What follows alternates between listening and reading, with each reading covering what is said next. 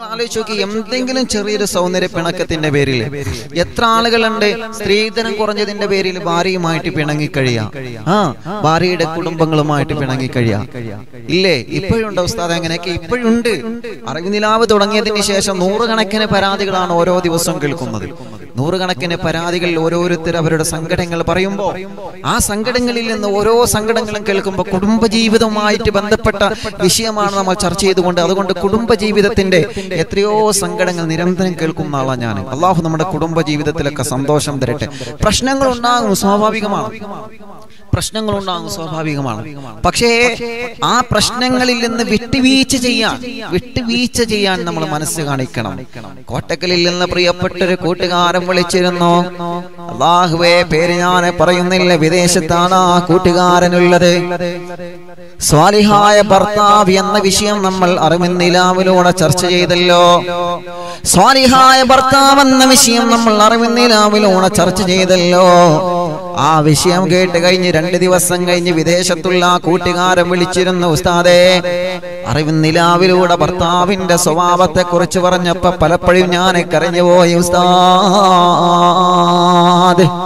മനസ്സ് വല്ലാതെ സങ്കടപ്പെട്ടു പോയി പലപ്പോഴും ഞാൻ തളർന്നു പോയി എന്തേ എന്ന് ചോദിക്കുമ്പോ ആ കൂട്ടുകാരൻ നിറകണ്ണുകളോടെ പറയുകയാണ് എന്റെ പുന്നാര ഉമ്മ എന്നെ ചെറുപ്പത്തിലെ വിട പറഞ്ഞു പോയതാണ് ഉമ്മ മരണപ്പെട്ടു പോയി.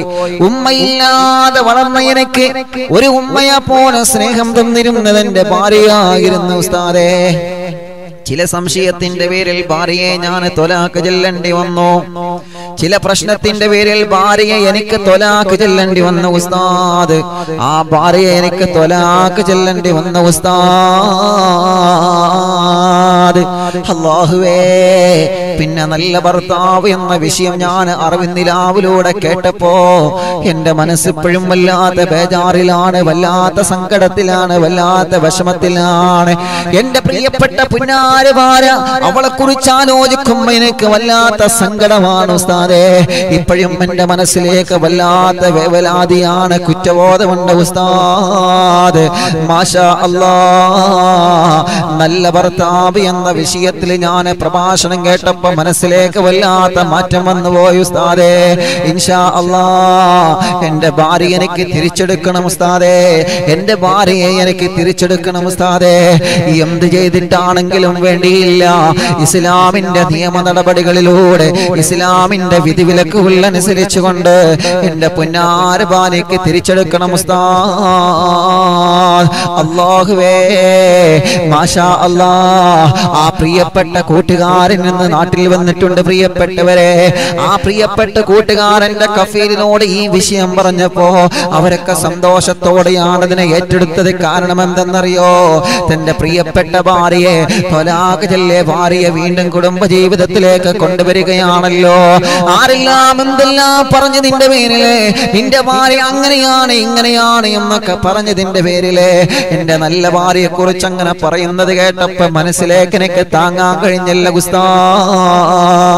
കഴിഞ്ഞ ആഴ്ചയാണ് കോട്ടക്കലുള്ള ചെറുപ്പക്കാരൻ വിളിച്ച സങ്കടം പറഞ്ഞത്. അള്ളാഹുവേ ആ പ്രിയപ്പെട്ട ചെറുപ്പക്കാരൻ ഇന്ന് നാട്ടിലെത്തിയിട്ടുണ്ട് ക്വാറന്റൈനിലാണ്. അള്ളാഹു സലാമത്ത് കൊടുക്കട്ടെ അള്ളാഹു റാഹത്ത് കൊടുക്കട്ടെ. എന്തിനാണ് വന്നതെന്നറിയോ? ഞാൻ തൊലാക്ക് ചൊല്ലിയ പ്രിയപ്പെട്ട എന്റെ ഭാര്യയെ തിരിച്ചെടുക്കാൻ വേണ്ടിയാണ്. അള്ളാഹുവേ ഭക്ഷ്ടബോധം മനസ്സിന്റെ അകത്ത് വരണം നമുക്ക്. കുറ്റബോധം മനസ്സിന്റെ അകത്ത് വരണം നമുക്ക്. തെറ്റുകൾ സ്വാഭാവികമാണ് പിണക്കങ്ങൾ സ്വാഭാവികമാണ്. മനുഷ്യനല്ലേ തെറ്റുകുറ്റങ്ങൾ സ്വാഭാവികമാണ്. പക്ഷേ മനസ്സിന്റെ അകത്ത് നന്നാവണമെന്നുള്ള ചിന്ത വേണം ചെറുപ്പക്കാരാ. മനസ്സിന്റെ അകത്ത് നന്നാവണമെന്നുള്ള ചിന്ത വേണം പെങ്ങളെ. ആ ഒരു നല്ല മനസ്സിന്റെ ഉടമകളായി കഴിഞ്ഞാൽ അള്ളാഹുവിന്റെ ഹിതായത്തിന്റെ തിരിവട്ടം നമ്മുടെ ഹൃദയത്തിലേക്ക് അള്ളാഹു ഈമാനിലൂടെ ഒരു വിശ്വാസത്തിലൂടെ പേടിയിലൂടെ പളച്ചു തമ്പുരാ നമുക്ക് തരുന്നതാണ്. ആ ഈമാനുള്ളവർക്ക് പിന്നെ ഹറാമ് ചെയ്യാൻ മനസ്സ് വരൂല്ല. ആ ഈമാനുള്ളവർക്ക് അള്ളാഹുവിനോടുള്ള ഇഷ്ടമുള്ളവർക്ക് ഭാര്യയുമായിട്ട് പിണങ്ങിക്കഴിയാൻ മനസ്സ് വരൂല്ല. ഭർത്താവുമായി പിണങ്ങിക്കഴിയാൻ മനസ്സ് വരൂല്ല. ഇനി പിണങ്ങിയാൽ തന്നെ ആ പിണക്കം കൂടുതൽ പോവാൻ പാടില്ല. ഇനി പിണങ്ങിയാൽ തന്നെ ആ പിണക്കം കൂടുതൽ പോവാൻ പാടില്ല. അള്ളാഹുവിന്റെ ഹബീബ് സല്ലല്ലാഹു അലൈഹി വസല്ലമ തങ്ങൾ ഹജ്ജത്തുൽ പ്രഭാഷണത്തിൽ മുത്തുനബി പറഞ്ഞതല്ലേ? ഭർത്താക്കന്മാരോട് പറഞ്ഞതാണ് നിങ്ങളെ ഭാര്യമാരോട് നിങ്ങൾ നല്ല രൂപത്തിൽ ഇടപെടണം സ്വഹാബ. നിങ്ങളെ ഭാര്യമാരോട് നിങ്ങൾ നല്ല രൂപത്തിൽ ഇടപെടണം സ്വഹാബ. ഭാര്യമാര് അഥവാ നിങ്ങൾക്കത് റോങ് ആയി കഴിഞ്ഞാൽ നിങ്ങളെ താഴ്ന്നു കൊടുക്കുക. പ്രിയപ്പെട്ട സഹോദരിമാരോട് അല്ലാഹുവിന്റെ ഹബീബ് പറഞ്ഞതാണ് നിങ്ങളെ ഭർത്താക്കന്മാർക്ക് നിങ്ങൾ ഹൃദമത്തെടുക്കുക ഭർത്താക്കന്മാരെ ആദരിക്കുക സ്നേഹിക്കുക ബഹുമാനിക്കുക എല്ലാം എല്ലാം നിങ്ങളെ ഭർത്താവാണ്. നിങ്ങളെ ഭർത്താവ് നിങ്ങൾക്കെതിരെ റോങ് ആയി കഴിഞ്ഞാൽ നിങ്ങൾ അതേ രൂപത്തിൽ അതേ സെയിം രൂപത്തിൽ നിങ്ങൾ തിരിച്ചടിക്കാതെ നിങ്ങളൊന്ന് താഴ്ന്നു കൊടുക്കുന്ന വിനയത്തിന്റെ ഉടമകളായ ഭാര്യയും ഭർത്താവുമായി തീരണമെന്ന് ലോകത്തിന്റെ നൂറേ. നബി മുഹമ്മദ് മുസ്തഫ സല്ലല്ലാഹു അലൈഹി വസല്ലം. പിണക്കങ്ങളൊക്കെ സ്വാഭാവികമാണ്. ആ പിണക്കങ്ങളൊന്നും കൂടുതൽ നീണ്ടു പോകരുത് എന്നാ ഞാൻ പറയുന്നത്. അല്ലേ? ചിലപ്പോ അങ്ങോട്ടും ഇങ്ങോട്ടൊക്കെ പ്രശ്നങ്ങൾ ഉണ്ടാവും ചിലപ്പോ നമ്മൾ ജോലി കഴിഞ്ഞ് അല്ലെങ്കിൽ യാത്ര കഴിഞ്ഞ് ഇങ്ങനെ ക്ഷീണത്തിൽ വരികയായിക്കാരം ചിലപ്പോ നമ്മൾ കുറെ കഥക് മുട്ടും. ആൾ നല്ല ഉറക്കിലേക്കാരം. അപ്പൊ സ്വാഭാവികമായിട്ട് ചിലപ്പോ ചിലപ്പോട്ടോ എല്ലാവർക്കും വരൂല. എല്ലാവർക്കും വരൂല. ചിലപ്പോ നമുക്ക് മനസ്സിലാവും ഞാൻ ഇത്രയും ലോങ് എന്ന് വരികയാണ്. എന്നിട്ടും കഥക്ക് തുറക്കണില്ലല്ലോ അല്ലെങ്കിൽ ഫോൺ വിളിക്കും കുറെ അർജന്റ് കേസിൽ എന്തെങ്കിലും വിളിക്കായിരിക്കും ഫോൺ എടുക്കലെന്നെ ഉണ്ടാവില്ല. നമ്മൾ വിചാരിക്കും എന്താ കിടന്നുറങ്ങിയത്. ചിലപ്പോ ഫോൺ സൈലന്റ് ആയിരിക്കും. നമുക്ക് അങ്ങനെ എന്താ മനസ്സിലാക്കി മനസ്സിലാക്കിക്കൂടെ? ചിലപ്പോ ഫോൺ സൈലന്റ് ആക്കിയിരിക്കും. നമുക്ക് അങ്ങനെ നമുക്ക് നല്ലത് കൊണ്ട് ഓരോരുത്തരെ മനസ്സിലാക്കാലോ? നല്ലത് കൊണ്ട് ചിന്തിക്കുക. ഇപ്പൊ നമ്മൾ കാര്യമായിട്ട് ഫോൺ വിളിക്കണം ഫോൺ വിളിക്കണ സമയത്ത് ഭാര്യയുടെ ഫോണ് എൻഗേജിലായിരിക്കും വേറൊരു കോളിലായിരിക്കും അപ്പൊ നമ്മളിങ്ങനെ. കണ്ടോ? നമ്മളെ ബുദ്ധി അങ്ങോട്ടാ പോവുക. അങ്ങനെയല്ല. അവിടെ എന്താ നമുക്ക് മനസ്സിലായി ചിലപ്പോ ആ ഭാര്യന്റെ ഉമ്മ വിളിക്കേക്കരം. ചിലപ്പോ ആ ഭാര്യന്റെ ഉപ്പ വിളിക്കേക്കരം. ഇനി ഉമ്മയൊപ്പൊന്നും ഇല്ലാത്ത ഭാര്യയാണ്. സഹോദരങ്ങൾ വിളിക്കായിരിക്കണം അല്ലെങ്കിൽ കൂട്ടുകാരെങ്കിലും വിളിക്കായിരിക്കണം. അങ്ങനെ മനസ്സിലാക്കിക്കൂടെ? ഇതെപ്പോഴും വളഞ്ഞ വൈക്കേ ബുദ്ധി പോകുള്ളൂ. ആ ആ ആ. ഓ ഹോ അങ്ങനെ പോവുള്ളൂ. അങ്ങനെയല്ല. നേരെ തിരിച്ചു അങ്ങനെ തന്നെ കേട്ടോ. നേരെ തിരിച്ചു അങ്ങനെയാണ്. ഭർത്താക്കന്മാർക്ക് ചിലപ്പോൾ നിങ്ങൾ അതങ്ങനെ ഭാര്യമാരെ ഡ്യൂട്ടി തന്നെ അതാണ് ഭർത്താക്കന്മാർ പുറത്തുനിന്ന് ഇറങ്ങിയോ? എന്നാ ഫോൺ എടുക്കാ വിളിക്കാ. ഫോൺ എടുക്കാ വിളിക്കാ. നിങ്ങൾ എവിടെ എത്തി? പോന്നോ? എവിടെ എത്തിയോ? എവിടെയല്ലേ? എവിടെയല്ലേ? അതങ്ങനെയാണ്. അത് സ്നേഹമുള്ള പെണ്ണിന്റെ ഒരു അടയാളാണ് അവരെ കുറ്റപ്പെടുത്തിയിട്ട് കാര്യമില്ല. നമ്മൾ പുറത്തിറങ്ങി കഴിഞ്ഞാൽ ഭാര്യമാര് നമുക്കൊരു പത്ത് കോളെങ്കിലും വിളിക്കും. എന്റെ അനുഭവം ഞാൻ പറയണം നിങ്ങൾക്ക് എത്ര കോൾ വരലുണ്ടോ എനിക്കറിയില്ല. നിങ്ങളെ ഭാര്യമാരെ നിങ്ങൾ വിളിച്ചിരിക്കും. കാരണം അത് അവരുടെ ഒരു ഇഷ്ടമാണ്. അവരുടെ ഒരു സ്നേഹമാണ്. അപ്പൊ അതിനനുസരിച്ച് നമ്മൾ റീപ്ലൈ കൊടുക്കണം. ഞാൻ അങ്ങോട്ട് വരുന്നുണ്ട്. അങ്ങനെയല്ലേ പറയേണ്ടത്? ആ മാഷാ ഞാൻ ഇവിടെ എത്തിയിട്ടുണ്ട്. കാര്യങ്ങളൊക്കെ പറയാം. അങ്ങനെ വേണ്ടത്?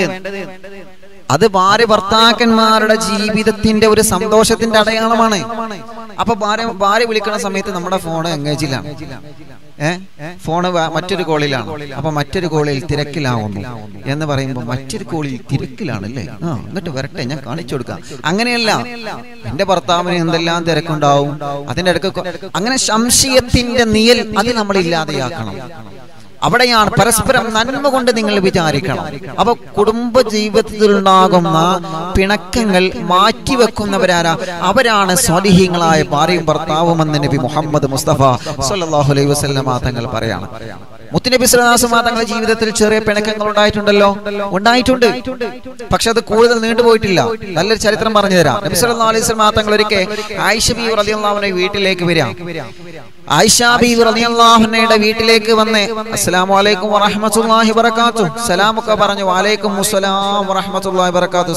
മടക്കി മാഷാ ഇങ്ങനെ പെട്ടെന്ന് വീട്ടുമുറ്റത്ത് ഇങ്ങനെ നിന്നുപോയി. അപ്പൊ ആയിഷ ബി റളിയല്ലാഹു അങ്ങനെ കരുതി എന്താ നബി സുലാസിമാ തങ്ങൾ വീട്ടിലോട്ട് കയറാത്ത മുത്തുനബി കേറിയില്ല. വരൂ നബിയെ. അള്ളാഹുവിന്റെ ഹബീബ് ഇവിടെ ഒന്നും വേണ്ടിയില്ല ഈ നൃത്തം ഇങ്ങനെ നിന്ന്. അപ്പൊ ആയിഷ അലി അള്ളാഹു എന്ത് ചെയ്തു? തമാശക്ക് ആ അങ്ങനെ മുത്തുനബി നിൽക്കുകയാണെങ്കിൽ എനിക്കും കാണല്ലോ എന്ന് പറഞ്ഞിട്ട് ആഷബി ഇങ്ങനെ നിന്നു. മുത്തുനബി ഇങ്ങനെ നിന്ന് ആഷബി ഇങ്ങനെ നിന്ന്. രണ്ടുപേരും അങ്ങോട്ടും ഇങ്ങോട്ടും നിന്നു. എന്താ ഉണ്ടാകുക രണ്ടുപേരും ഇപ്പൊ രണ്ട് രണ്ട് ഭാഗത്തിലൂടെ ഒരു കാർ വന്നു. ഒരു ഭാഗത്തിലൂടെ ഒരു അമേസും വന്നു ഒരു ഭാഗത്തിലൂടെ ഇന്നോവയും വന്നു. രണ്ട് കാർ എങ്ങനെ വന്നു. അപ്പോ ഒരു വാഹനത്തിന് പോകാനുള്ള സ്പേസേ ഉള്ളൂ. ആ ഭാഗത്തിലൂടെ വന്നിട്ട് രണ്ട് വണ്ടി വന്ന് ഇങ്ങനെ നിൽക്കുകയാണ് ഒരു വണ്ടി മാറിക്കൊടുത്താലല്ലേ മറ്റേ വണ്ടി? പിന്നോവ പറഞ്ഞാൽ മാറിക്കൊടുത്താലല്ലേ അമേസിന് പറഞ്ഞാൽ പോകാൻ പറ്റുള്ളൂ. ഒരു വണ്ടി മാറിക്കൊടുത്താലല്ലേ മറ്റൊരു വണ്ടിക്ക് പോകാൻ പറ്റുള്ളൂ. അപ്പൊ ഏ രണ്ടുപേരും വിട്ടുവീഴ്ച ചെയ്യാതെ ഈ നൃത്തം ഇങ്ങനെ നിൽക്കുക ഈ നൃത്തം ഇങ്ങനെ നിൽക്കുക എന്താ ആർക്കാ പോ രണ്ടാൾക്കും പോകാൻ കഴിയൂല? രണ്ടുപേരും ബുദ്ധിമുട്ടാവും. അതേ പ്രകാരം രണ്ടുപേരും അങ്ങോട്ടും ഇങ്ങോട്ടും ഇങ്ങനെ മിണ്ടാതെ ഇങ്ങനെ നിൽക്കുക. ഈ നൃത്തം ഇങ്ങനെ നിൽക്കുക. നിങ്ങൾ ആലോചിച്ച് നോക്കി എന്തുണ്ടാകാം ആയിഷബി പറഞ്ഞിരുന്നവൻ ഇങ്ങനെ നിന്ന്. ആ മുത്തുനബി മുണ്ടാണെങ്കിൽ മുണ്ടട്ടെ. പക്ഷേ നബി സല്ലല്ലാഹു അലൈഹി തങ്ങൾ ഒന്നും അനങ്ങുന്നില്ല. അപ്പൊ ഇത് കണ്ടപ്പോ ആയിഷബി പറഞ്ഞ നിനക്ക് വല്ലാത്ത സങ്കടം. മഹതിയായ ആയിഷ ബി റളിയല്ലാഹു അൻഹ സങ്കടത്തോടെ ചോദിച്ചു യാ റസൂലല്ലാഹ് സല്ലല്ലാഹു അലൈഹി വസല്ലമ തങ്ങളെ എന്ത് പറ്റി നബിയേ എന്ത് പറ്റി നബിയേ എന്ത് പറ്റി അള്ളാഹുവിന്റെ ഹബീബേ സല്ലല്ലാഹു അലൈഹി വസല്ലമ തങ്ങളോട് കടന്നുവാ നബിയേ എന്തെങ്കിലും പിണക്കമുണ്ടോ നബിയേ? ഈ വീട്ടിലോട്ട് വരാൻ എന്തെങ്കിലും പിണക്കമുണ്ടോ നബിയേ? എന്ത് പിണക്കങ്ങൾ ഉണ്ടെങ്കിലും എന്നോട് മാപ്പാക്കണം നബിയേ.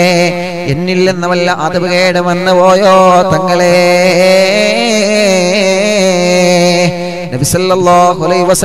തങ്ങൾ ഒന്നും മിണ്ടാതെ മുറ്റത്തിൽ നിൽക്കുകയാണ്. അൻഹ വീണ്ടും മുത്തുനബിയോട് ചോദിച്ചു എന്തിനാണ് നബിയെ?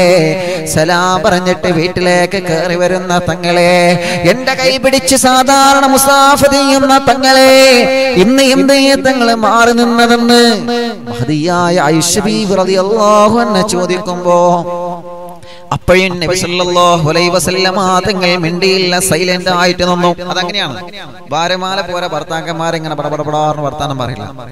ഭർത്താക്കന്മാർ പൊതുവേ സൈലന്റ് ആയിരിക്കും പൊതുവേ സൈലന്റ് ആയിരിക്കും അല്ലെ? അങ്ങനെ തന്നെയല്ലേ? ചില ഭർത്താക്കന്മാരുണ്ട് പത്ത് സ്ത്രീകളെ പോലും നല്ല ഉച്ചത്തിലും സംസാരിക്കും. അങ്ങനെ ആവരുത്. പൊതുവേ ഭർത്താക്കന്മാര് സൈലന്റ് ആണ്. നമ്മളെ കയ്യിൽ പെട്ടതാണ്. സൈലന്റ് ആയിരിക്കണം നമ്മൾ.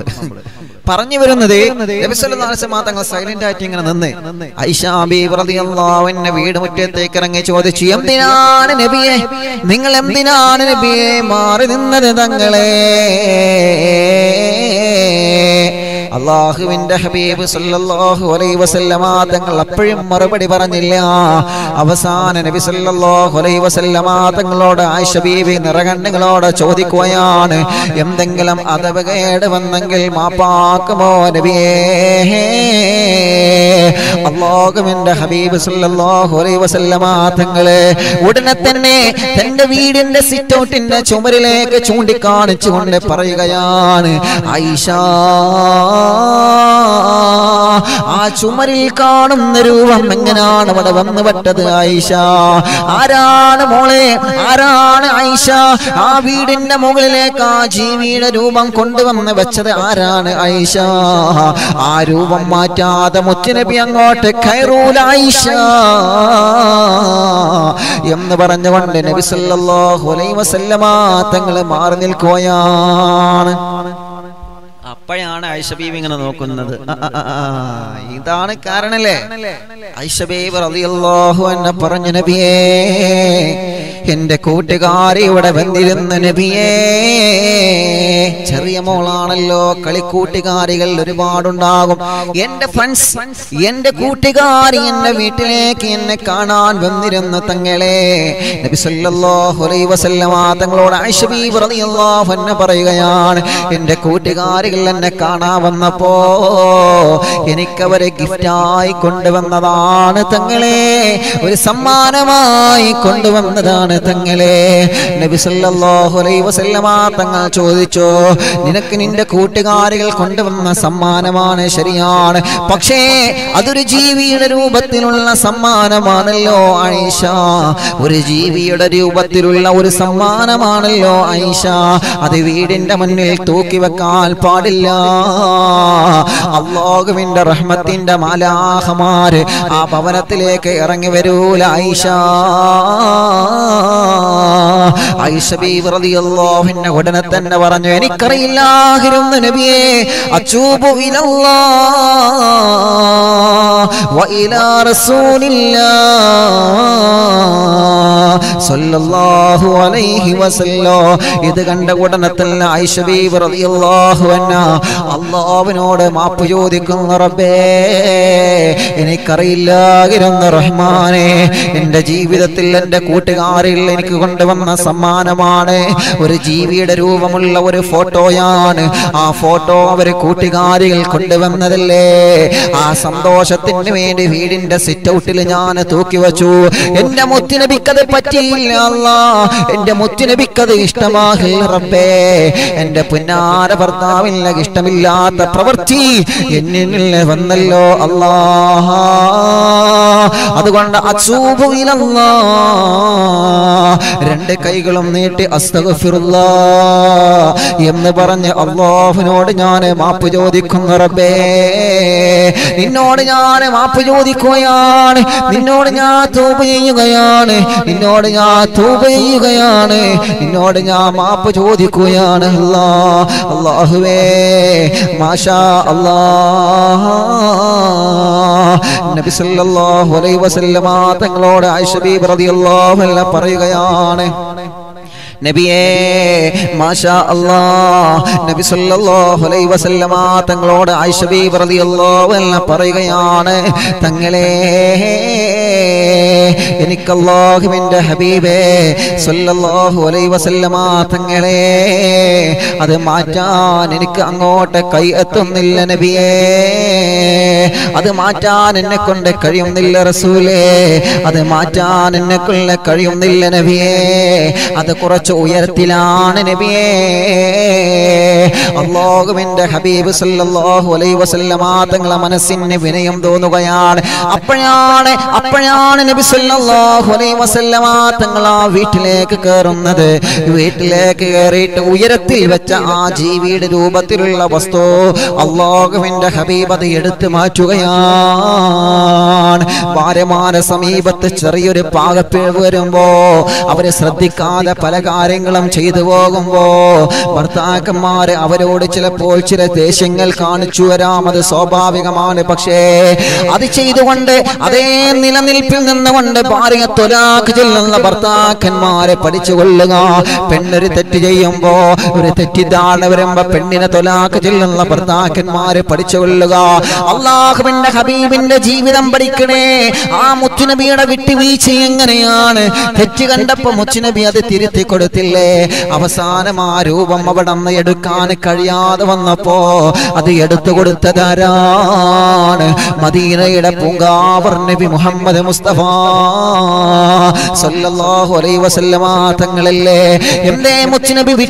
ചെയ്യാൽ ഹബീബ് പ്രിയപ്പെട്ട ചരിത്രം നമ്മെ പഠിപ്പിക്കുകയല്ലേ? അങ്ങനെയാവണം ഭർത്താക്കന്മാരെ നമ്മളെ അങ്ങനെയാവണം ഭർത്താക്കന്മാരെ നമ്മളെ അങ്ങനെയാവണം ഭാര്യമാരെ നമ്മളെ അങ്ങനെയാവണം പ്രിയപ്പെട്ട ഭർത്താക്കന്മാരെ നമ്മൾ. പരസ്പരം അങ്ങോട്ടും ഇങ്ങോട്ടുമുള്ള വിട്ടുവീഴ്ചയാണ് കുടുംബ ജീവിതത്തിന്റെ വിജയമെന്ന് മറന്നു പോവണ്ട. ഐഷബീബ്ലാഹുന്നയുടെ സമീപത്ത് അങ്ങനെ ഒരു ചെറിയൊരു പിഴവ് സംഭവിച്ചപ്പോ അള്ളാഹുവിന്റെ അബീബ് തങ്ങൾ അത് ഉണർത്തി. എന്നിട്ട് എന്റെ പണിയൊക്കെ പോ എന്ന് പറഞ്ഞിട്ട് എന്റെ പണിയൊക്കെ പോകുന്നു പറഞ്ഞിട്ട് നബി അലൈഹി തങ്ങൾ അങ്ങനെ പോയതല്ലല്ലോ.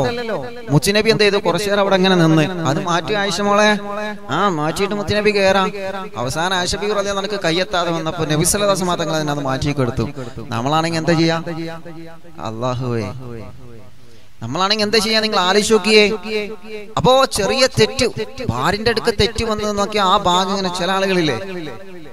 എനിക്ക് പറ്റാത്തത് കണ്ടാൽ ഞാൻ അത് മുറിച്ചടിടലാണ്. ആ ഭാഗം മുറിച്ചടിടലാണ്. എന്ത് മുറിച്ചിടൽ അത് നന്നാക്കാൻ പറ്റുമോ എന്നല്ല നോക്കണ്ടേ നമ്മൾ. അതെങ്ങനെയാണ്? അത് നന്നാക്കാൻ പറ്റുമോ എന്നാണ് നമ്മൾ നോക്കേണ്ടത്. അള്ളാഹു നമ്മുടെ കുടുംബ ജീവിതത്തിൽ സമാധാനം തരട്ടെ. അമ്മ അള്ളാഹു നമ്മുടെ കുടുംബ ജീവിതത്തിൽ സമാധാനം തരട്ടെ. നേരെ തിരിച്ചും എങ്ങനെയാണ്? ഭർത്താവിന്റെ സമീപത്ത് എന്തെങ്കിലും ഒരു പാകപ്പിഴപ്പ് വരുമ്പോ തിരുത്തേണ്ടത് ഭാര്യയാണ്. ഭാര്യയാണ്. തിരുത്തേണ്ടത്. അത് വിട്ടുവീഴ്ച ചെയ്യേണ്ടത് ഭാര്യയുടെ അടയാളമാണ്. അതുകൊണ്ടാണല്ലോ നബി സല്ലല്ലാഹു അലൈഹി വസല്ലം തങ്ങൾ ഒരിക്കൽ ഫാത്തിമ ബീബി റളിയല്ലാഹുവിനെ വീട്ടിലേക്ക് പോയി. ഫാത്തിമ ബീബി റളിയല്ലാഹുവിനെയും അലി റളിയല്ലാഹുവിനും ചെറിയൊരു സൗന്ദര്യ പിണക്കുണ്ടായി ഇതൊക്കെ എല്ലാവരും കുടുംബത്തിലും വന്നതാണ്. പക്ഷേ ഇതൊന്നും നീണ്ടു പോവാറില്ല. അവിടെയാണ് രസം. കുടുംബജീവിതം എന്ന് പറഞ്ഞാൽ ഇങ്ങനെയൊക്കെയാണ്. ഇങ്ങനെയൊക്കെയാണ് കുടുംബജീവിതം. പരസ്പരം അങ്ങോട്ടും ഇങ്ങോട്ടും നീണ്ടുപോയില്ല. നബിസ്വല്ലാസ്മാ തങ്ങൾ ഫാത്തിമ ബീബ് റതി അള്ളാഹുനയുടെ വീട്ടിലേക്ക് ചെന്നപ്പോ ഫാത്തിമ ബീബ് റതി അള്ളാഹുനയുടെ മോറ് വലിയ രസമൊന്നുമില്ല കാണാന്. കാരണം വല്ലാത്തൊരു വിഷമത്തിലാണ്. മുത്തുനബിയുടെ അഴകുള്ള പൊന്നുമോൾ മുത്തുനബിയുടെ അതേ മനോഹരമായ പൊന്നുമോൾ കാണാൻ അഴകുള്ള പൊന്നുമോളുടെ മുഖം വല്ലാതെ വാടിയിരിക്കുന്നു. അപ്പൊ കണ്ടപ്പോ മുത്തുനബിക്ക് പെട്ടെന്ന് മനസ്സിലാകുമല്ലോ അതെന്തോ പ്രശ്നമുണ്ട് അല്ല എന്ത് പറ്റി ഫാത്തിമ? എന്ത് പറ്റി? ഒന്നുമില്ല. അല്ല എന്തോണ്ടല്ലോ എന്ത് പറ്റി? അതിനെ അലി. എവിടെ നമ്മുടെ അലി എവിടെ ആ പള്ളിയിൽ പോയിട്ടുണ്ടാവും. ഫാത്തിമ ബീർ റളിയല്ലാൻ അങ്ങനെയാണ് ചില അങ്ങനെ ചില ആളുകൾ അങ്ങനെയാണ്. ഭർത്താവിനോട് തെറ്റി കഴിഞ്ഞാൽ പിന്നെ ഫോം വിളിച്ചു കഴിഞ്ഞാൽ എവിടെ? ഇക്ക എവിടെ? ഇവിടെ അല്ലല്ലോ എങ്ങോട്ടാ പോയത്? ആ അറിയില്ല. അവിടെ എവിടെയെങ്കിലും ഉണ്ടാവും. അങ്ങനെയാണല്ലോ ചില ആളുകൾ മറുപടി അറിയാം അപ്പൊ ആ മറുപടി വന്ന് തന്നെ അറിയുന്നത് നമ്മൾ വീട്ടിൽ ചെന്ന് കഴിഞ്ഞാൽ ഇപ്പൊ നമ്മളിങ്ങനെ ഇപ്പോ നിങ്ങളിപ്പോ ഒരാളെ കുറിച്ച് ഇങ്ങനെ ചോദിക്കാണ്. അല്ല ഇവിടെ സ്വപ്ന കാഫി ഉണ്ടോ? അപ്പൊ ഭാര്യ പറയാം ആ അവിടെ എവിടെയെങ്കിലും കാണും ഇവിടെ ഒന്നും ഇല്ല. ആ മറുപടി തന്നെ നിങ്ങൾക്ക് മനസ്സിലാക്കുന്നത് ആ ഇതിൽ എന്തോ ഒരു പ്രശ്നമുണ്ട്. അതല്ല ഇവിടെ ഉണ്ടോ? അല്ല ഇപ്പൊ ഇവിടെ ഉണ്ട് ഇനി ഇപ്പൊ പുറത്തു പോയിട്ടുള്ളൂ. നിങ്ങൾ കുറച്ചു നേരം വെയിറ്റ് ചെയ്തോളൂ. ഇപ്പൊ വരും എന്ന് പറഞ്ഞാലോ? ഒരു പ്രശ്നമില്ല അലഹമില്ല അവർ വെയിറ്റ് ചെയ്യും. നേരെ തിരിച്ചു കാണാണ്ട് നേരെ മറിച്ച് നിങ്ങൾ ചോദിക്കാം. ഇവിടെ ഉസ്താദ് ഉണ്ടോ സക്കാഫി ഉസ്താദ് ഉണ്ടോ ആ അവിടെ ഇവിടെയൊക്കെ വെള്ളറിഞ്ഞെടുക്കുന്നുണ്ട് ഇവിടെ അല്ല എവിടെ ആളാവോ എന്ന് പറഞ്ഞിട്ട് ഭാര്യ അങ്ങനെയാണ് മറുപടി തരുന്നെങ്കിലോ? അതിമം തന്നെ നമുക്ക് വായിച്ചെടുക്കാം. ഇവിടെ എന്തോ ഒരു വല്ലാത്തൊരു വല്ലാത്തൊരു സംഭവം പൊട്ടിപ്പുറപ്പെടാൻ ഒരുങ്ങി നിൽക്കുന്നു എന്ന് പറഞ്ഞിട്ട് നമുക്ക് പെട്ടെന്ന് സ്ഥലം കാലിയാക്കാം.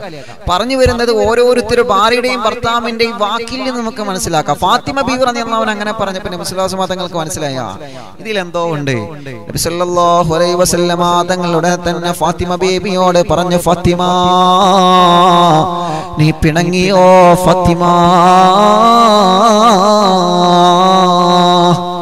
അലിയനോട് നീ പിണങ്ങിയോ ഫാത്തിമ? അലിയനോട് നീ പിണങ്ങിയോ ഫാത്തിമ? ഫാത്തിമ ബീബി റളിയല്ലാഹു അൻഹയുടെ കണ്ണ് നിറഞ്ഞു. ഫാത്തിമ ബീയുടെ കണ്ണ് നിറഞ്ഞു. ഇല്ല നബിയേ എനിക്ക് പിണങ്ങാൻ കഴിയൂല നബിയേ. എനിക്ക് പിണങ്ങാൻ കഴിയൂല നബിയേ. സ്നേഹമുള്ള ഭാര്യയും ഭർത്താവും പിണങ്ങിക്കഴിഞ്ഞാലും അവരെ മനസ്സിൽ സന്തോഷം വരും. പിണങ്ങിക്കഴിഞ്ഞാലും അവരെ മനസ്സിൽ സന്തോഷം വരും. പിണങ്ങിയാലും ആ ഒരു കുറ്റബോധം നിങ്ങളെ മനസ്സിലുണ്ടെങ്കിൽ ആ മനസ്സിൽ സ്നേഹമുണ്ട് എന്നതിന്റെ അടയാളമാണ്. ഭാര്യ ഭർത്താവിനോട് ഭർത്താവ് ഭാര്യയോട് പിണങ്ങിയാലേ പിണങ്ങിയാൽ നമുക്ക് കട്ടൻ ചായ കൊണ്ടുതരുന്നുണ്ട് ചായക്ക് മധുരക്ക് മധുരത്തിന്റെ പരം ഉപ്പൊന്നും ഇട്ടിട്ടില്ല മധുരം തന്നെയാണ് ഇട്ടത്. അത് സ്നേഹത്തിന്റെ അടയാളമാണ്. എന്നാൽ മധുരത്തിന്റെ പകരം നല്ല കല്ലുപ്പിട്ടിനാണ് കൊണ്ടുവന്നതെങ്കിലോ അത് നമുക്ക് പാര വെച്ചതാണ് മനസ്സിലാക്കണം നമ്മൾ. ഭാര്യയും ഭർത്താവും തമ്മിൽ തമ്മിൽ എന്തെങ്കിലും പിണങ്ങിയാലും കൃത്യസമയത്ത് നമുക്ക് നാസ്ത തരുന്ന ഭാര്യയാണ് എങ്കിൽ ആ ഭാര്യയുടെ മനസ്സിൽ നിങ്ങളോടുള്ള സ്നേഹത്തിന്റെ പർവതമാണ് ചെറുപ്പക്കാരാ. അത് മനസ്സിലാക്കാനുള്ള ബോധം നിങ്ങൾക്ക് വേണം കൂട്ടുകാരാ. വീട്ടിൽ നിന്ന് പുറത്തു പോകുമ്പോ ചിലപ്പോൾ ദേഷ്യം പിടിച്ചിട്ടായിരിക്കും ഭർത്താവ് പോകുന്നത്. എന്നാൽ അങ്ങാടിയിലെത്തുമ്പോ ഫോൺ വിളിച്ചിട്ട് മോളെ വീട്ടിലേക്ക് എന്തെല്ലാം സാധനങ്ങളാണ് വേണ്ടതെന്ന് ഭർത്താവ് ഒരു ചോദ്യം ചോദിക്കുമ്പോ എല്ലാം മാഞ്ഞു പോയില്ലേ? എല്ലാം ആ ചോദ്യത്തിലൂടെ അങ്ങ് മറന്നു പോയില്ലേ? വീട്ടിൽ നിന്ന് ഇറങ്ങിയപ്പോ ദേശത്തിലൂടെയാണ് ഭർത്താവ് ഇറങ്ങിയത്. അങ്ങാടിയിലെത്തുമ്പോ ആ ഭർത്താവ് നിങ്ങളോട് വിളിച്ചുകൊണ്ട് നിങ്ങളെ വിശേഷങ്ങൾ അന്വേഷിക്കുകയും നിങ്ങൾക്ക് വേണ്ട വസ്തുക്കൾ എന്താണെന്ന് ഭർത്താവ് നിങ്ങളോട് ചോദിക്കുന്നുണ്ടെങ്കിൽ പെണ്ണെ നിങ്ങളെ മനസ്സിലാക്കേണ്ടത് പെങ്ങളെ നിങ്ങളെ മനസ്സിലാക്കേണ്ടത് ആ ഭർത്താവിന്റെ മനസ്സിൽ നിങ്ങളോട് സ്നേഹത്തിന്റെ കടലാ. ആ ഭർത്താവിന്റെ മനസ്സിൽ നിങ്ങളോടുള്ള സ്നേഹത്തിന്റെ സാഗരമാ. ആ ഭർത്താവിന്റെ മനസ്സിൽ എന്നും നിങ്ങളോടുള്ള ആ ഒരു സ്നേഹവും ആ ഒരു ബഹുമാനവുമാണെന്ന് നിങ്ങൾ മറന്നു പോവണ്ട പ്രിയപ്പെട്ടവരെ. നബി സല്ലല്ലാഹു അലൈഹി വസല്ലമ തങ്ങൾ. ഫാത്തിമ ബീബ് റളിയല്ലാഹു പറയാണ് ഫാത്തിമ. കുടുംബജീവിതം എന്ന് പറഞ്ഞാൽ പഠിച്ചു കൊള്ളുക ഫാത്തിമ നീ അലിയനോട് പിണങ്ങിയോ? ഫാത്തിമ ഇല്ല നബിയേ എനിക്ക് പിണങ്ങാ കഴിയൂല നബിയേ. എനിക്ക് പിണങ്ങി നിൽക്കാൻ കഴിയൂല തങ്ങളെ. ഉടനെ തന്നെ നബി സല്ലല്ലാഹു അലൈഹി വസല്ലമ തങ്ങളെ പരിശുദ്ധമായ മസ്ജിദിൻ നബിയിലേക്ക് കടന്നു ചെല്ലുകയാണ്. മസ്ജിദിൻ നബിയിൽ ചെന്നുകൊണ്ട് ചോദിക്കുകയാണ് സ്വഹാബത്തിനോട് ചോദിക്കുന്ന സ്വഹാബ എന്റെ അലി എവിടെ സ്വഹാബ എന്റെ അലി എവിടെ സ്വഹാബ എന്റെ അലി എവിടെ സ്വഹാബ അള്ളാഹുവേ സ്വഹാബത്ത് പറയാൻ നബിയേ ഇവിടെയൊന്നും കാണുന്നില്ലല്ലോ നബിയേ. ഇവിടെയൊന്നും കാണുന്നില്ലല്ലോ നബിയേ. ഇവിടെയൊന്നും കാണുന്നില്ലല്ലോ നബിയേ. എവിടെയാണ് സുഹാബ എന്റെ അലിയവിടെ സുഹാബ എന്റെ പൊന്നുമോനെ അലിയവിടെ സുഹാബ വസല്ലമ തങ്ങൾ മരുമകനായ അലി റളിയല്ലാഹു അൻഹുവിനെ സ്നേഹത്തോടെ മോനെ വിളിച്ചിരുന്നത്. അതങ്ങനെയാണല്ലോ. സ്വന്തം മരുമക്കളാണെങ്കിലും മക്കളെ പോലെ കൊണ്ടു നടക്കുന്ന അമോശന്മാരുണ്ട് സ്വന്തം മരുമക്കളാണെങ്കിലും മക്കളെ പോലെ കൊണ്ടു നടക്കുന്ന അമ്മായിമ്മമാരുണ്ട്. അവർ അമ്മായിമ്മയല്ല ഒരു ഉമ്മയെ പോലെ സ്നേഹം തരുന്ന ഒരു വാപ്പയെ പോലെ സ്നേഹം തരുന്ന ഒരു വാപ്പയെ പോലെ സ്നേഹം തരുന്ന എത്ര ഭാര്യമാരുടെ അപ്പമാരാണുള്ളത്. ഒരു ഉമ്മയെ പോലെ സ്നേഹം തരുന്ന അമ്മായിമ്മമാരില്ലേ അള്ളാഹു നമ്മുടെ മാതാപിതാക്കൾക്ക് ദീർഘായുസ് കൊടുക്കട്ടെ. എന്റെ പാവപ്പെട്ട പുന്നാരുമ്മ രണ്ട് വർഷത്തിലേറെയായ കബറിലാണ് അള്ളാഹുവിടത്തെ കബർ ജീവിതം സ്വർഗമാക്കി കൊടുക്കട്ടെ. എന്റെ ഉമ്മയായിരുന്നു എന്റെ ജീവിതത്തിന്റെ എല്ലാ സന്തോഷവും. ഉമ്മ പോയതിന് ശേഷം ജീവിതത്തിൽ വല്ലാത്ത കിരിട്ടാണ്. ഉമ്മയില്ലാത്ത ജീവിതം എന്ന വലിയ സങ്കടത്തിലാണ് എന്നും അതൊരു വല്ലാത്ത ചോദ്യചിഹ്നമാണ്. പലപ്പോഴും ആലോചിച്ചിട്ടുണ്ട്. ഉമ്മ നഷ്ടപ്പെട്ട മക്കളല്ലേ യഥാർത്ഥത്തിൽ എത്തി മക്കളായാകുന്നത് കാരണം അത് താങ്ങാൻ കഴിയില്ലല്ലോ. അത് താങ്ങാൻ കഴിയില്ലല്ലോ. എന്നാലും ഇന്നും ഉമ്മയില്ലാത്തതിന്റെ വേദന അറിയാത്തത് വാപ്പയും ഉമ്മയും ഇല്ലാത്തതിന്റെ സങ്കടം അറിയാത്തത്. അള്ളാഹുവേ ഉമ്മയെ പോലെ സ്നേഹം തരുന്ന ഭാര്യയുടെ ഉമ്മയുള്ളത് കൊണ്ടാണ്. ഉമ്മയെ പോലെ സ്നേഹം തരുന്ന ഭാര്യയുടെ ഉമ്മയുള്ളത് കൊണ്ടാണ്. അതിലേറെ സ്നേഹവും ബഹുമാനവും എല്ലാ കാര്യങ്ങൾക്കും നിർദ്ദേശങ്ങളും തരുന്ന പ്രിയപ്പെട്ട ഭാര്യയുടെ വാപ്പയുള്ളത് കൊണ്ടാണ്. സ്വന്തം മക്കളെ പോലെയാണ് അവർ ഞങ്ങളെ കൊണ്ട് നടക്കുന്നത്. സ്വന്തം മക്കളെ പോലെ കൊണ്ടു നടക്കുന്ന പ്രിയപ്പെട്ട അമ്മോഷന്മാരോ അമ്മായിമ്മമാരോ ഉണ്ടാകുമ്പോ ആ കുടുംബ ജീവിതത്തിൽ ഒരു സന്തോഷമാണല്ലോ. അലി അൻഹുവിനെ സ്വന്തം വാപ്പയെ പോലെയാണ് അള്ളാഹുവിന്റെ ഹബീബ് സ്വന്തം മകനെ പോലെയാണ് കൊണ്ട് നടന്നത്. അതുകൊണ്ട് തന്നെ മുത്തുനബി സല്ലല്ലാഹു അലൈഹി വസല്ലമ തങ്ങൾ ഫാത്തിമ ബീവിയോട് ഇടക്കിടക്ക് പറയുമായിരുന്നു ഫാത്തിമ എന്റെ മോനെ അലീനെ നീ വേദനിപ്പിക്കല്ലേ ഫാത്തിമ? അലിയിനോടുള്ള സ്നേഹം നിനക്കെപ്പോഴും ഉണ്ടാവണേ ഫാത്തിമ. യഥാർത്ഥത്തിൽ അലി റളിയല്ലാഹുവിന്റെ വീണ മോനല്ലല്ലോ. എന്നിട്ട് പോലെ നബി സല്ലല്ലാഹു അലൈഹി വസല്ലമ തങ്ങളെ പലപ്പോഴും അവിടെ പലപ്പോഴും അവിടെ ഉപയോഗിച്ചു വാക്ക് എന്റെ തങ്കക്കുടം എന്റെ പൊന്നുമോനെന്ന വാക്കാണ്. മരുമക്കളോട് എങ്ങനെ സ്നേഹം വേണമെന്ന് പഠിപ്പിച്ചു. മുത്തു റസൂൽ നബി മുഹമ്മദ് മുസ്തഫ സല്ലല്ലാഹു അലൈഹി വസല്ലമ തങ്ങളെ അല്ലാഹുവേ ഫാത്തിമ ബീവിയോട് സൗന്ദര്യ പിണക്കത്തിന്റെ പേരിൽ മദീനയിലെ മസ്ജിദ് നബിയിൽ വന്ന സങ്കടത്തോടെ ഇരിക്കുമ്പോ അള്ളാഹുവിന്റെ ഹബീബ് സുഹാബത്തിനോട് ചോദിച്ചു സുഹാബ എന്റെ പൊന്നുമോനെ അലിയേ ഈ പള്ളിയിൽ എവിടെയെങ്കിലും ഉണ്ടോ സുഹാബ അപ്പോഴാണ് അബൂബക്കർ സുദ്ദീഖ് റളിയല്ലാഹു അൻഹു വന്ന പരാപദം മറുപടി പറഞ്ഞത് നബിയേ അല്ലാഹുവിന്റെ ഹബീബേ അഹ്ലു സുഫ ഇരിക്കുന്ന സ്ഥലത്തെ അലിയുണ്ട് നബിയേ. അഹ്ലു സുഫ ഇരിക്കുന്ന സ്ഥലമുണ്ടല്ലോ. അല്ലാഹുവിന്റെ ഹബീബിന്റെ സമീപത്ത് വന്ന് ദർസ് പഠിച്ചുകൊണ്ടിരിക്കുന്ന സ്വഹാബത്തില്ലേ? അവിടെയാണ് നബിയേ അവിടെയുണ്ട് നബിയേ അവിടെയുണ്ട് നബിയേ അവിടെയുണ്ട് നബിയേ. അലി റളിയല്ലാഹു അൻഹു അഹ്ലു സുഫ ഇരിക്കുന്ന സ്ഥലത്ത് പള്ളിയിൽ ഇങ്ങനെ നിലത്ത് കമഴ്ന്ന് കിടക്കുകയാണ് അള്ളാഹുവേ തങ്ങൾ അലിയനെ വിളിക്കുകയാണ്. ഇങ്ങ വാ മോനെ ഇങ്ങോട്ട് വാ മോനെ നീ എന്തേ ഇങ്ങനെ പിണങ്ങി നിൽക്കുന്നത് മോനെ? അലി റളിയല്ലാഹു അൻഹു എഴുന്നേറ്റ് വരികയാണ്. കാരണം വിളിച്ചതാരാണ്? ഒരു പിതാവിന് തുല്യമായ സ്നേഹം തന്ന അൽത ഉമ്മൽ അന്നബോ മാറ ഐനാ ഫീഹിമാ.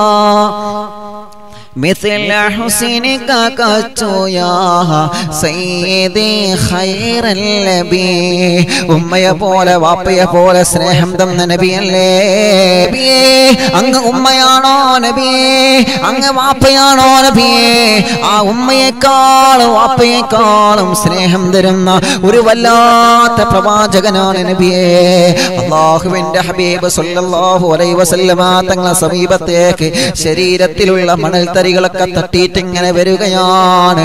കാരണം ഫാത്തിമ ബീവിയോട് ചെറിയൊരു പിണക്കം കാരണം മനസ്സിന് വല്ലാത്ത സങ്കടം വന്നുപോയി അലി റതിയല്ലോ സങ്കടം താങ്ങാൻ കഴിയാതെ മണിമൂത്ത് റസൂലിന്റെ പൂമോളല്ലേ ഫാത്തിമ ബീവി അഴകിലും അഴകായി മാറിയ ഫാത്തിമത്തോ സുഹ്റ. അള്ളാഹുവേ ഫാത്തിമ ബീവിയോട് ചെറിയൊരു പിണക്കം വന്നപ്പോ അത് മനസ്സിന് താങ്ങാൻ കഴിയാതെ വന്നപ്പോ മദീനയിലെ പള്ളിയിൽ നിലത്ത് വന്ന ശരീരം അമർന്ന് കിടക്കുകയായിരുന്നു അലി റളിയല്ലാഹു അൻഹു. ഉടനെ തന്നെ നബി സല്ലല്ലാഹു അലൈഹി വസല്ലമ തങ്ങൾ അലി റളിയല്ലാഹു അൻഹു വിളിക്കുകയാണ് ഈ ചരിത്രം ഞാൻ സമർപ്പിക്കുന്നത് ആർക്കും അറിയോ ഭക്ഷണത്തിൽ എരിവ് കൂടിയതിന്റെ പേരിൽ ഭാര്യയുടെ മുഖത്തടിക്കുന്ന ഭർത്താക്കന്മാരെ ഭക്ഷണത്തിന്റെ രുചി വ്യത്യാസം വന്നതിന്റെ പേരിൽ ഭക്ഷണത്തിൽ ഒരു മുടി കണ്ടതിന്റെ പേരിൽ ഭാര്യയോട് ആഴ്ചകളോളം മാസങ്ങളോളം പിണങ്ങിക്കഴിയുന്ന ഭർത്താക്കന്മാരില്ലേ? എന്തെങ്കിലും ഒരു സംശയത്തിന്റെ പേരിൽ ആരെങ്കിലും എന്തെങ്കിലും പറഞ്ഞതിന്റെ പേരിൽ പ്രവാസ ലോകത്തുള്ള പ്രിയപ്പെട്ട ഭർത്താവ് മാസങ്ങളായി മാസങ്ങളായി പ്രിയപ്പെട്ട പാറിയ ഫോൺ വിളിക്കാതെ മനസ്സിന്റെ അകത്ത് സങ്കടത്തിന്റെ കനൽ കട്ടകൾ സമ്മാനിക്കുന്ന ഓരോ ഭർത്താക്കന്മാരും ഈ ചരിത്രം പഠിച്ചുകൊള്ളുക. നേരെ തിരിച്ചും അങ്ങനെയാണ്.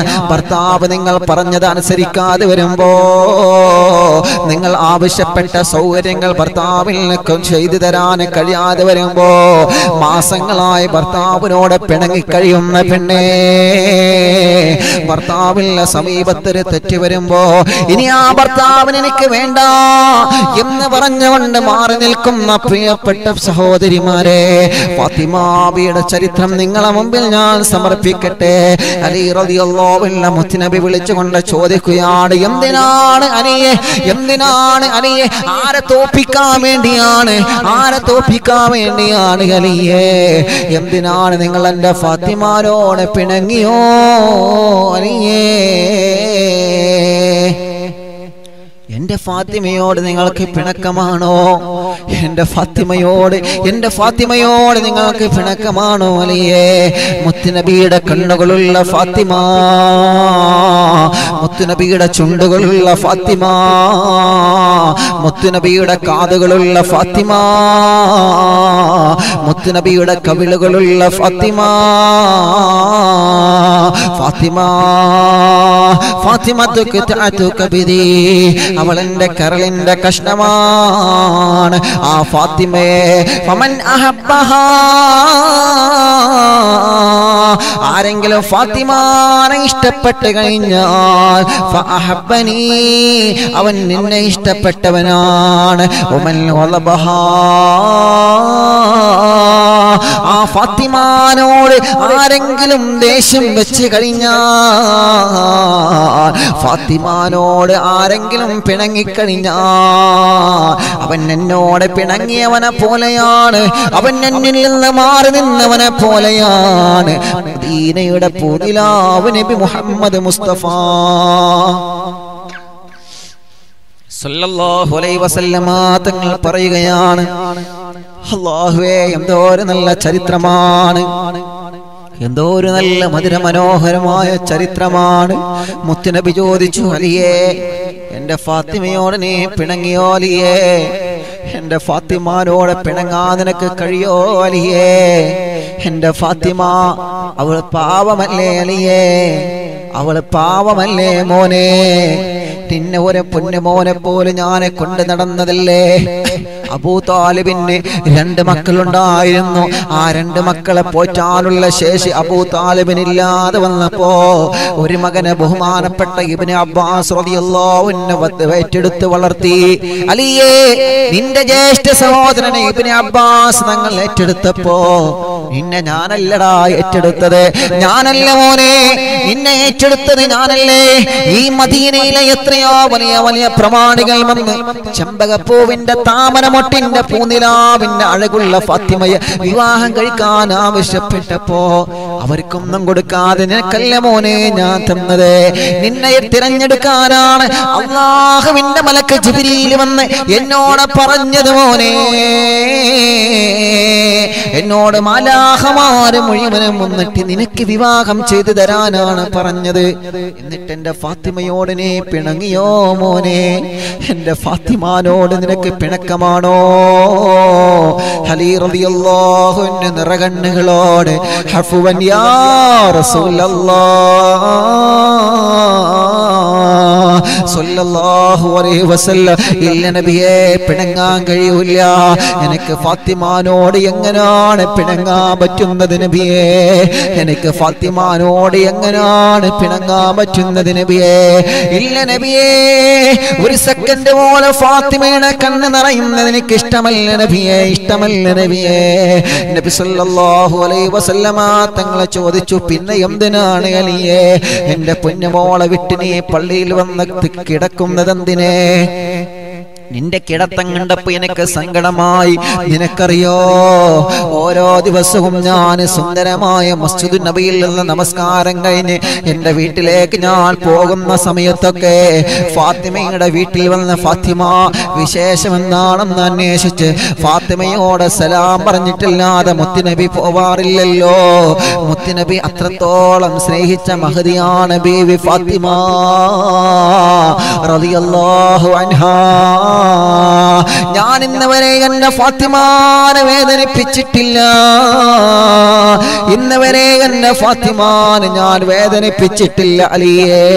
അള്ളാഹുവേ അലി റളിയല്ലാഹു എന്ന് പറയുകയാണ് ഞാനും വേദനിപ്പിച്ചിട്ടില്ല നബിയേ. ഞാനും വേദനിപ്പിച്ചിട്ടില്ല നബിയേ. പിന്നെ എന്തേ ഞാൻ പള്ളിയിൽ വന്ന് കിടക്കാ കാരണം എന്തെന്നറിയോ? എനിക്ക് സഹിക്കാൻ കഴിഞ്ഞില്ല നബിയേ. എനിക്ക് സഹിക്കാൻ കഴിഞ്ഞില്ല നബിയേ. എനിക്ക് സഹിക്കാൻ കഴിഞ്ഞില്ല നബിയേ. ഫാത്തിമ ബീബി റളിയല്ലാഹു അൻഹയും ഞാനും തമ്മ തമ്മിൽ അങ്ങോട്ടും ഇങ്ങോട്ടും ചെറിയൊരു പ്രശ്നമുണ്ടായപ്പോ ഇല്ല നബിയേ അത് സഹിക്കാൻ കഴിയാതെ വന്നപ്പോഴാണ് ഈ മദീനയിലെ പള്ളിയിൽ ഒന്ന് ഞാൻ കിടന്നതെന്ന് അലി റളിയല്ലാഹു അൻഹു നബി സല്ലല്ലാഹു അലൈഹി വസല്ലമ തങ്ങളോട് മറുപടി പറയുമ്പോ അള്ളാഹുവിന്റെ ഹബീബ് നബി മുഹമ്മദ് മുസ്തഫ തങ്ങളെ മരുമകനായ അലി റളിയല്ലാഹുവിന്റെ തോളത്ത് തട്ടിയിട്ട് പറയുകയാണ് സാരമില്ല മോനെ അത് പോവട്ടെ മോനെ അത് വിട്ടേക്ക് മോനെ അത് മറന്നു പോ മോനെ നമുക്ക് വീട്ടിലേക്ക് പോവാമനിയേ എന്തോ ഒരു നല്ല മുച്ചുനബി സല്ലല്ലാഹു അലൈഹി വസല്ലം ബാപ്പയെ പോലെ ഉമ്മയെ പോലെ അല്ല ബാപ്പയിലേറെ ഉമ്മയിലേറെ ഭാര്യയുടെ പിതാവ് കൊടുക്കുന്ന സ്നേഹം ആ സ്നേഹത്തിലേറെ സ്നേഹത്തിലേറെ മതി ചൊരിഞ്ഞു കൊടുത്ത നബി മുഹമ്മദ് മുസ്തഫ സല്ലല്ലാഹു അലൈഹി വസല്ലമ തങ്ങൾ തന്റെ മരുമകനായ അലി റളിയല്ലാഹു അൻഹുവിന്റെ കൈയങ്ങോട്ട് മുറുകെ പിടിച്ചിട്ട് പോവുകയാണ്. ഇലൽ ഫാത്തിമ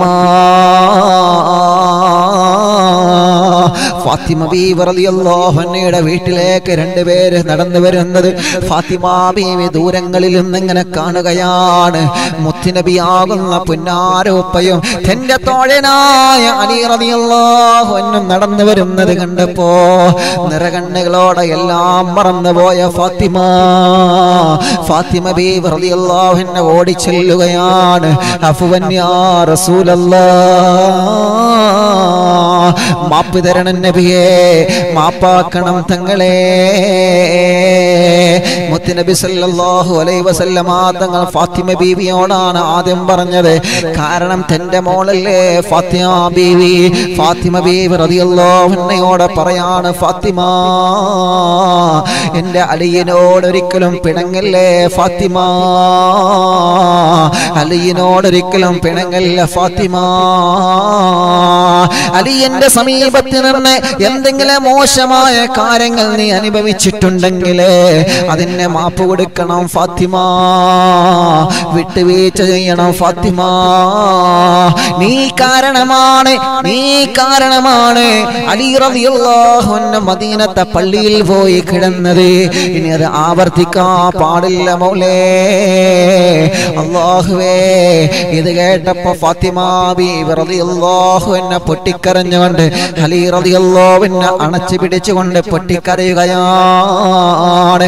പിണക്കങ്ങളൊക്കെ സ്വാഭാവികമാണ് ചെറുപ്പക്കാരാ. പിണക്കങ്ങളൊക്കെ സ്വാഭാവികമാണ് പിങ്ങളെ. എന്തെങ്കിലും പിണക്കം വരുമ്പോ ഭർത്താവിനെതിരെ കേസ് കൊടുക്കുന്ന ഭാര്യമാരെ. എന്തെങ്കിലും പ്രശ്നങ്ങൾ വരുമ്പോ ഭാര്യയുടെ മുഖത്തടിക്കുന്ന ഭർത്താക്കന്മാരെ. മദീനയുടെ രണ്ട് കുസുമങ്ങളുടെ ചരിത്രം നിങ്ങളെ മുമ്പിൽ അറിവിൻ നിലാവിലൂടെ സമർപ്പിക്കട്ടെ ആയിരങ്ങൾക്ക് സമാധാനം ലഭിച്ച സദസ്സല്ലേ? ആയിരങ്ങൾക്ക് മനസ്സിന് വല്ലാത്ത ശാന്തി ലഭിച്ച സദസ്സല്ലേ? എത്രയോ ആളുകൾ അനുഭവത്തിന്റെ വെളിച്ചം പറയുമ്പോ ഉസ്താദേ ഞങ്ങളെ സങ്കടം മാറി കെട്ടോ ഞങ്ങളെ വിഷമം മാറി കെട്ടോ ഞങ്ങളെ പ്രതിസന്ധി നീങ്ങി കെട്ടോ. എത്ര ആളുകളാണ് നിരന്തരം ഫോൺ വിളിച്ചു പറയുന്നത്? ഇതൊന്നും അഹങ്കാരത്തോടെ വിളിച്ചു പറയുകയല്ല. എല്ലാ മടവൂര് ശൈഹുനാന്റെ കാവലിലാണ്. എല്ലാ മടവൂര് ശേഖുനാന്റെ തിരുനോട്ടത്തിലാണ്. എല്ലാ മടവൂര് ശേഖുനാന്റെ പൊരുത്തത്തിലാണ്. എല്ലാ മടവൂര് ശേഖുനാന്റെ ഇഷ്ടത്തിലാണ്. എല്ലാ മടവൊരു പാപാന്റെ ഇഷ്ടത്തിലും പൊരുത്തത്തിലുമാണ് അള്ളാഹുവേ ഞങ്ങളെ അനുഗ്രഹിക്കണം അല്ലോ ഞങ്ങളെ കബൂലാക്കണം അല്ലോ ഞങ്ങളെ സ്വീകരിക്കണേ റബ്ബേ. എന്റെ പ്രിയപ്പെട്ടവരോട് പറയുകയാണ് അള്ളാഹുവിന്റെ ഹബീബ് നബി മുഹമ്മദ് മുസ്തഫ സല്ലല്ലാഹു അലൈഹി വസല്ലമ. തങ്ങളെ അവസാനമായി ഫാത്തിമ ബീവിയുടെ മലി റളിയല്ലാഹുവിന്റെയും കൈകൾ പിടിച്ചിട്ട് പറയുകയാണ് മക്കളെ നിങ്ങൾ രണ്ടുപേരും സാധാത്യങ്ങളെ ഉമ്മയും ബാപ്പിയുമാണ്. നിങ്ങളാണ് ഈ ലോകത്ത് വരുന്ന അഹ്ലുബൈത്തിന്റെ പരമ്പരയുടെ ഓരോ ഉമ്മയും ബാപ്പയും നിങ്ങളാണെന്ന് നിങ്ങൾ മറന്നു പോവേണ്ട. എന്തെങ്കിലും ഒരു പിണക്കം വന്നു കഴിഞ്ഞാ എന്തെങ്കിലും ഒരു പ്രശ്നങ്ങൾ വന്നു കഴിഞ്ഞാ പിണക്കങ്ങളൊക്കെ സ്വാഭാവികമാണ്. എന്തെങ്കിലും ഒരു പിണക്കങ്ങൾ വന്നു കഴിഞ്ഞാൽ നീ വിട്ടുവീഴ്ച ചെയ്യണം മനിയേ. നീ വിട്ടുവീഴ്ച ചെയ്യണം മനിയേ. ഫാത്തിമയിൽ നിന്ന് വല്ല അനിഷ്ടക്കേട് വന്നാ നീ പുറത്തു കൊടുക്കണേ അലിയേ. ഫാത്തിമ ചെറിയ മോളല്ലേ.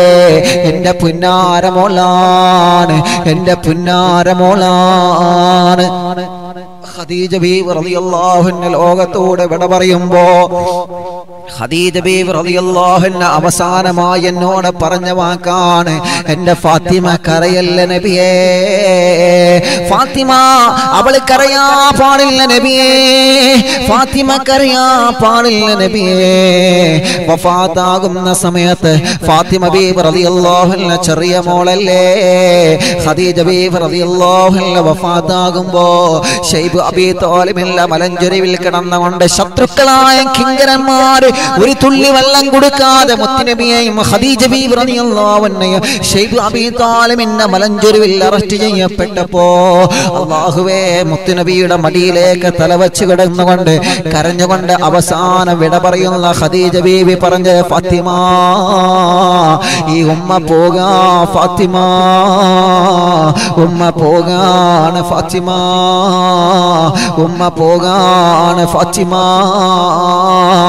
മാഷാ അല്ലാ ഫാത്തിമ ബീവി റളിയല്ലാഹു അൻഹയോട് ഖദീജ ബീവി അവസാനം പറഞ്ഞ വാക്കം തന്നറിയോ ഉമ്മ പോയാലും ഉമ്മ പോയാലും ഒരു വാപ്പ നിനക്കുള്ള ഫാത്തിമ. ഉമ്മയെക്കാൾ സ്നേഹം തരുന്ന വാപ്പ നിനക്കുണ്ട് മോളെ. ആയിരം വാപ്പമാരെക്കാൾ സ്നേഹം തരുന്ന വാപ്പ നിനക്കുണ്ട് മോളെ. എന്ന് പറഞ്ഞിട്ടാണ് അള്ളാഹുവിന്റെ ഹബീബിന്റെ ആ പരിശുദ്ധമായ മാറിടത്തിലേക്ക് ഹൃദയത്തിലേക്ക് ഫാത്തിമ ബീവിയുടെ മുഖത്ത് താഴ്ത്തി വെച്ചുകൊണ്ടാണ് ഹദീദ ബീബ് റളിയല്ലാഹു അൻഹ ലോകത്തോട് വിട പറഞ്ഞത്. അള്ളാഹുവേ അതിനുശേഷം ഫാത്തിമ എന്റെ കാരണം കൊണ്ട് കരഞ്ഞിട്ടില്ല അലിയേ ഫാത്തിമ കരയരുത് അലിയേ ഫാത്തിമ കരയാൻ പാടില്ല അലിയേ അതുകൊണ്ട് വിട്ടുവീഴ്ച ചെയ്യണേ. എന്തെങ്കിലും ഒരു പിണക്കം വരുമ്പോ മാറി നിൽക്കരുതേ. മാഷാ അല്ലാ. അലൈഹി വസല്ലമ തങ്ങളെ ഇടപെടൽ കണ്ടോ? ഈ കാലഘട്ടത്തിന് ഈ ചരിത്രം വലിയ പ്രചോദനമാവട്ടെ. ഭാര്യയോടെ പിണങ്ങി കഴിയുന്ന ഭർത്താക്കന്മാര് ഈ ചരിത്രം പഠിക്കട്ടെ. ഭർത്താക്കന്മാരോടെ പിണങ്ങി മാറി നിൽക്കുന്ന ഈമാനില്ലാത്ത ഭാര്യമാര് ഫാത്തിമ ചരിത്രം പഠിക്കട്ടെ. മാഷാ അല്ലാ ഇന്നെല്ലാം തകർന്നുകൊണ്ടിരിക്കുകയാണല്ലോ. ബന്ധങ്ങളൊക്കെ തകർന്നടിഞ്ഞുകൊണ്ടിരിക്കുകയാണല്ലോ. ബന്ധങ്ങളൊക്കെ എല്ലാം അങ്ങോട്ടും ഇങ്ങോട്ടും മാറി മറഞ്ഞുകൊണ്ടിരിക്കുകയാണല്ലോ ഏതെങ്കിലും ഒരു കുടുംബത്തിലെ പ്രശ്നങ്ങൾ വന്നാൽ ആ പ്രശ്നത്തിലേക്ക് കത്തിക്കൊണ്ടിരിക്കുന്ന തീയിലേക്ക് മണ്ണെണ്ണ ഒഴിച്ച് ആ തീയിന്റെ ശക്തി കൂട്ടുന്ന കാലഘട്ടമല്ലേ? കുടുംബത്തിൽ ഭാര്യയും ഭർത്താവും എന്തെങ്കിലും പ്രശ്നങ്ങളുണ്ടെങ്കിൽ ഭർത്താവിനെ ഓരോന്ന് പറഞ്ഞ് ഭർത്താവിനെയും ഭാര്യയുടെയും തെറ്റിൽ അങ്ങോട്ടും ഇങ്ങോട്ടും മൂർച്ച കൂട്ടുന്നവരില്ലേ? കുടുംബ ജീവിതത്തിൽ ആരെങ്കിലും എന്തെങ്കിലും തെറ്റിദ്ധാരണ വന്നു കഴിഞ്ഞാൽ അവൻ അങ്ങനെയാണ് അവൾ ഇങ്ങനെയാണ് എന്ന് പറഞ്ഞുകൊണ്ട് എത്രയോ ആളുകൾ ആ കുടുംബം നന്നായി കാണാൻ ഇഷ്ടമില്ലാത്ത എത്രയോ ആളുകൾ ആ കുടുംബം നന്നായി കാണാൻ ഇഷ്ടമില്ലാത്ത എത്രയോ ആളുകൾ പരസ്പരം പറഞ്ഞ് തെറ്റിപ്പിച്ച് നടക്കുന്ന ആ തെറ്റുന്നതിനിക്ക് ശക്തി കൂട്ടാൻ വേണ്ടി ഓരോ ഈപത്തും നമീമത്തും ഫസാദും പറഞ്ഞുകൊണ്ട് നാടാകെ പറഞ്ഞ് പറഞ്ഞ് പറഞ്ഞ് പരത്തി നടക്കുന്ന എത്രയോ ആളുകളില്ലേ? എത്രയോ ആളുകളെ സങ്കടം പറയാറുണ്ട്. ഒരു കുടുംബജീവിതം തമ്മ തമ്മിൽ തെറ്റി എന്നറിയുമ്പോ ആ തെറ്റിയതിനെ ഇണക്കാനാണ് നീ ശ്രമിക്കേണ്ടത് ചെറുപ്പക്കാരാ. ആ തെറ്റിലിനെ ഇണക്കാനാണ് നമ്മൾ ശ്രമിക്കേണ്ടത് കൂട്ടുകാരാ. അതല്ലാതെ അവൻ അങ്ങനെ തന്നെയാണ് അവൻ ഇങ്ങനെ തന്നെയാണ് അവളെ അങ്ങനെ തന്നെയാണ് അവളെ ഇങ്ങനെ തന്നെയാണ് എന്ന് പറഞ്ഞുകൊണ്ട് നാടാകെ പറഞ്ഞു നടക്കലില്ല. അങ്ങനെ പറഞ്ഞു നടക്കുന്നവന് അള്ളാഹുവിന്റെ അതാപ് പ്രതീക്ഷിക്കണേ. കുടുംബജീവിതം എന്തെങ്കിലും പ്രശ്നങ്ങൾ വന്നു എന്നറിഞ്ഞ അത് ഒന്നിപ്പിക്കാനാണ് നമ്മൾ ശ്രമിക്കേണ്ടത് ഒന്നിപ്പിക്കാൻ. ആ അവൻ അങ്ങനെ തന്നെയാ. അവൾ ഇങ്ങനെ തന്നെയാ. അവൻ അങ്ങനെ കാട്ടി ഇവൻ ഇങ്ങനെ കാട്ടി. അതാ കാട്ടിയത് നമ്മൾ തമ്മിൽ അങ്ങോട്ടും ഇങ്ങോട്ടും പറഞ്ഞു ഒത്തു തീർപ്പാക്കാൻ ശ്രമിക്കാതെ അത് കാട്ടി കാട്ടി കാട്ടി ഇങ്ങനെ തെസ്ബി അല്ല ഇങ്ങനെ നടക്കന്നെ. കാണുന്ന സദസ്സിലും പറയാ ആളുകളോടും പറയാ. അതങ്ങനെയാണ്? ഇപ്പത്തെ കാലം തന്നെ അങ്ങനെയാണ് അള്ളാഹു നമുക്ക് അള്ളാഹു ഇതായത്തി തരട്ടെ. പറയുന്നവര് പറയട്ടെ. നമ്മൾ നമ്മളെ റൂട്ട് ശരിയാണെങ്കിൽ നമ്മൾ ആ റൂട്ടിൽ പോവുക. അതല്ലെങ്കിൽ നമ്മളെ റൂട്ട് തെറ്റാണോ? മറ്റുള്ളവർ പറഞ്ഞു തരുമ്പോ അത് നമ്മൾ അനുസരിക്കുക കുടുംബ ജീവിതത്തിലെ പ്രശ്നങ്ങളൊക്കെ സ്വാഭാവികമാണ്. എല്ലാ കുടുംബത്തിനും പ്രശ്നങ്ങൾ ഉണ്ടായിട്ടുണ്ട്. എല്ലാ കുടുംബത്തിനും പിണക്കങ്ങൾ ഉണ്ടായിട്ടുണ്ട്. പക്ഷെ അതൊന്നും നീണ്ടു പോവരുത് എന്നാണ് ഞാൻ പറയുന്നത്. നീണ്ടു പോവരുത്. ഭാര്യയും ഭർത്താവും തെറ്റിയാൽ ആ ഭാര്യയുടെ വാപ്പ ഇടപെടണം അല്ലെങ്കിൽ ഭർത്താവിന്റെ വാപ്പ ഇടപെടണം അവർ ഇടപെട്ടിട്ട് ആ പ്രശ്നം തീർക്കണം. അങ്ങനെ വേണ്ടത്. പ്രശ്നങ്ങൾ തീർത്തുകൊണ്ട് ആരുടെ ഭാഗത്താണോ തെറ്റുള്ളത്? ആ തെറ്റ് ആരുടെ ഭാഗത്തുണ്ടെങ്കിലും അത് അവർ സമ്മതിക്കണം. സമ്മതിച്ച് സമ്മതിച്ചു കഴിഞ്ഞാൽ ഇവിടെ ഭൂമി കുലുങ്ങുന്നില്ലല്ലോ.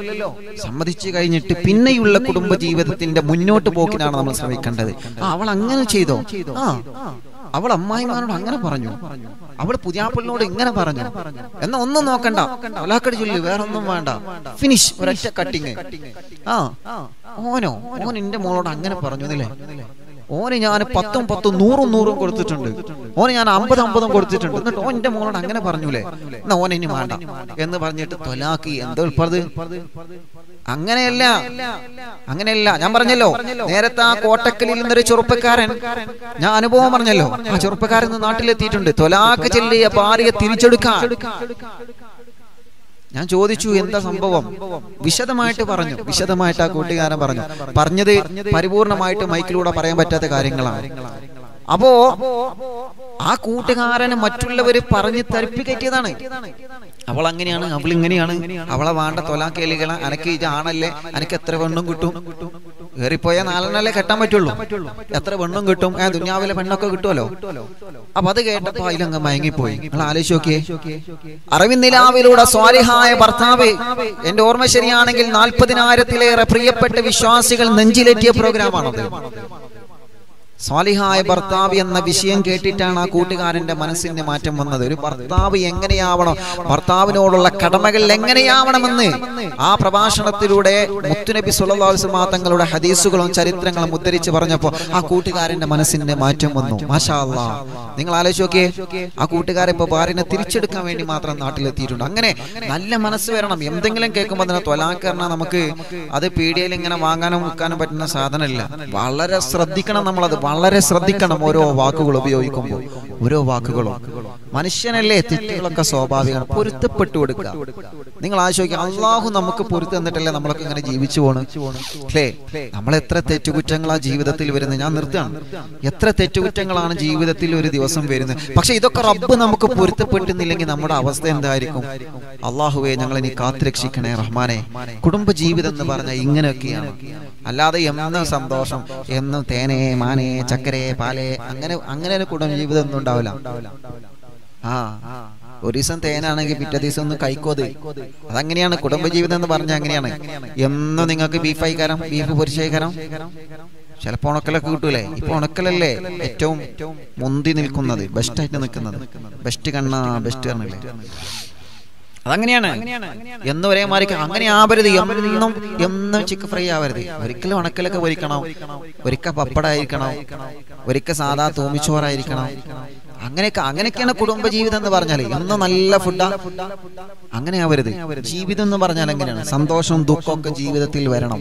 മറ്റേ ദുഃഖം അനുഭവിക്കേണ്ട ദുഃഖം എന്തായാലും നമ്മൾ അറിയണല്ലോ?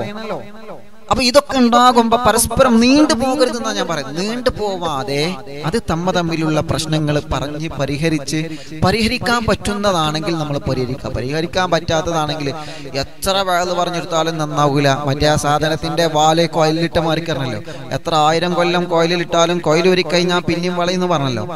അപ്പൊ അതേ മാർക്കാണെങ്കിൽ പിന്നെ നമുക്കതിൽ നോ രക്ഷ. അതല്ലെങ്കിൽ ഇത് പ്രശ്നങ്ങൾ പറഞ്ഞ് പരിഹരിച്ച് കുടുംബജീവിതം സന്തോഷത്തോടെ മുന്നോട്ട് പോവുക.